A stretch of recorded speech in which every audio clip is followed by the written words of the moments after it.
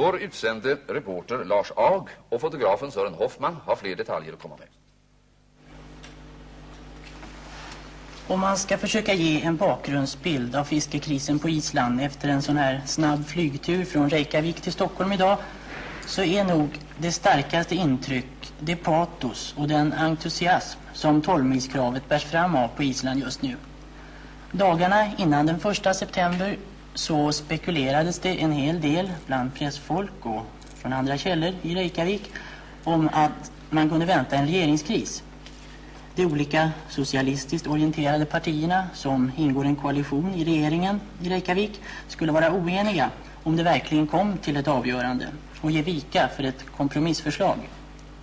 Istället har det visat sig att 12-milsgränsen blivit ett slagord och en samlande symbol för Islands ganska speciella nationalism. Det är i varje fall det intryck man får om man vistas i Reykjavik just nu, i Akureyri, Islands andra stad och i Seydisfjord, centrum för sillfisket. I Reykjaviks hamn, där håller man på att arbeta dag och natt nu. Man lossar för fullt fångsterna ifrån trålarna som kommer ifrån bankarna vid Newfoundland. Det har ju varit så att sillfisket har flyttats bort ifrån de isländska kusterna och man söker annan fisk betydligt längre bort ifrån kusten. Det är moderna apparater man använder sig av för lossningen. Det är svängkranar och de kan flytta sig ganska obehindrat på kajen som väl är en 200-300 meter och där det får plats cirka sex trålare varje gång.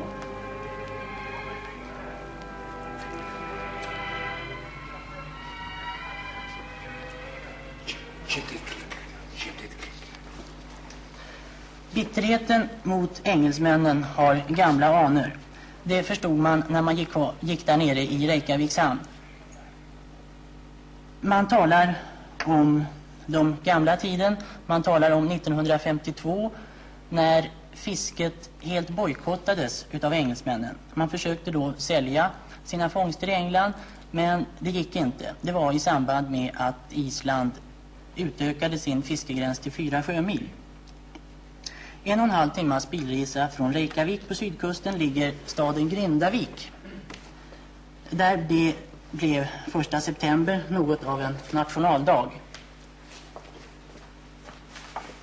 Man hissade allmänt den isländska flaggan på båtarna och det var överhuvudtaget en rätt egendomlig stämning där nere. Vi gick omkring och intervjuade fiskarna man... Ja, innan vi går vidare så ska vi kanske tala om att det har blivit ett fel på filmen och att ljudet klickade.